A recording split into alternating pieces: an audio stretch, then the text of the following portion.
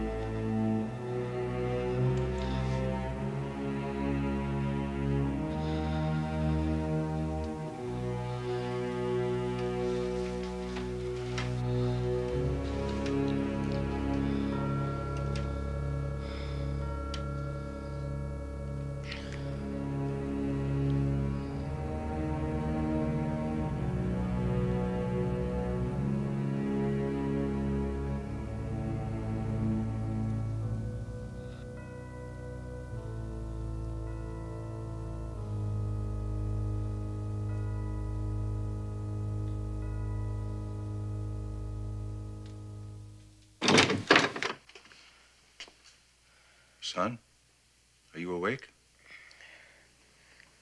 Uh, kinda. Did you have a bad dream? I, Maybe. I don't remember. You called out in your sleep. I'm sorry. Do you want anything? No. Good night, then. Good night, Dad.